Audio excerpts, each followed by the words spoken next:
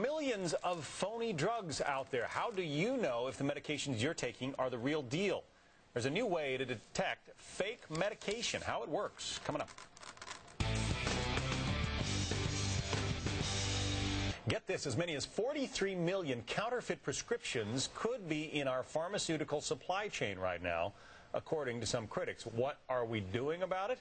A Florida company has created a machine that can detect counterfeit drugs without even opening up a single bottle. How does it work? Orlando Salinas has the high-tech look from Miami. Orlando?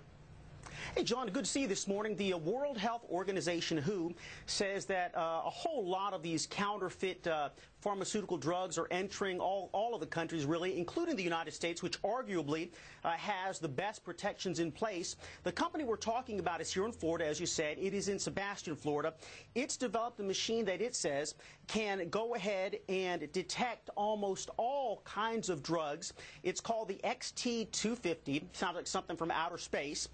XStream Systems uses a series of X-ray technologies to test most kinds of powders and pills, and it can do this without having to break the seal on any of the bottles. Immigration and Customs Enforcement, ICE, has investigated about 200 cases of pharmaceutical smuggling, more than 650 websites that sell supposed safe and approved drugs. They've been targeted.